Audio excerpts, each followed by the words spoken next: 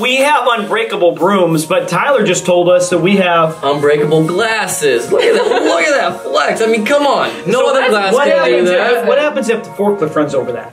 Um, it's gonna break the fork. but you know how they ever the glasses will push on your temples?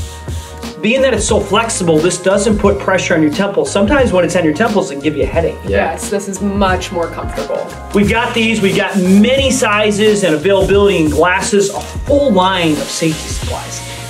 Okay, put them on. Who's cooler? Me. Emma. Emma Yeah, wins this Emma. one by far. Yeah, she wins. Give us a Always. shot. Thank you.